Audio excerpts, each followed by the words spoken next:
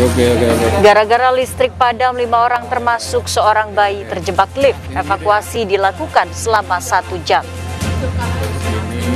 Ini adalah baby yang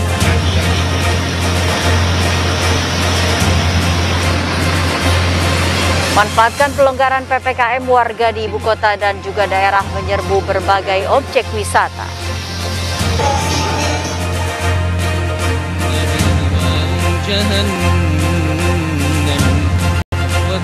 Pemerintah Arab Saudi akhirnya memberi izin umroh bagi umat Islam di Indonesia.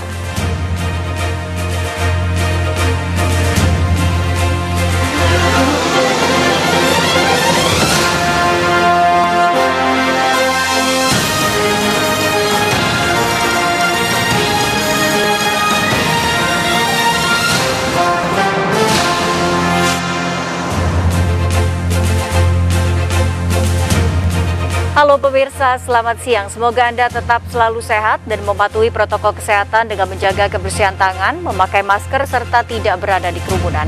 Saya Nawayogi Kusuma, inilah seputar iNews siang selengkapnya.